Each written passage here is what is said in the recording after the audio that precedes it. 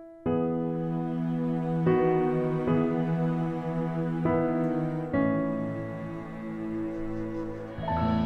Terima kasih PM. Terima kasih PM. Saya sayang PM. Kami berterima kasih kepada PM sebab PM merupakan satu-satunya pemimpin yang begitu mengambil berat hal pendidikan di sekolah. Biarpun beliau berada di Putrajaya, dia tidak lupa kami yang berada di kawasan pendalaman ini. Kita duduk jauh di luar bandar tak terasa terabailah. Ini kerana keprihatinan pihak kerajaan Datuk Najib kita. Aku sebagai pengomar ingin terima kasih tutup PM sebab mau ingin sekolah dia cukup bagus, dia cukup sangon saat anak-anak sok tok sok ia belajar. Janji kat ibu bapa saya ialah saya mau cari ilmu dan capai cita-cita mau jadi pengembara terkenal. Janji saya kepada cikgu-cikgu dan family saya, saya akan belajar sungguh-sungguh untuk mendapat keputusan yang cemerlang. Semoga beliau dipanjangkan usia dan dikekalkan terus menjadi Perdana Menteri untuk memimpin negara Malaysia kita yang tercinta ini.